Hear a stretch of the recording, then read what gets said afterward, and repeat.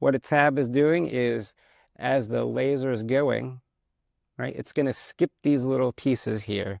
And you can specify the little pieces that get skipped um, in your layers tab. So everywhere where I put one of these little dots, I just hovered over the line and clicked. And to hover, to, to delete it, if I hover over the dot and click again and hold shift, it will delete it.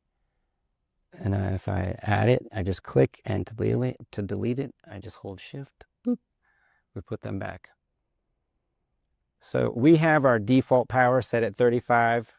And because we run these cuts, we run them at 10 and 50. And we want just this little piece of material, right? The, the size is 0.0197. It's going to skip that gap. You know, it'll skip it or it'll just decrease the power as it goes over that place. So we want the power, the power to be decreased because this is quarter inch. We need to be able to pop it out pretty easily, but I want it to be held in while I'm working on it or trying to clear the bed. So that leads me to my last tip for this section,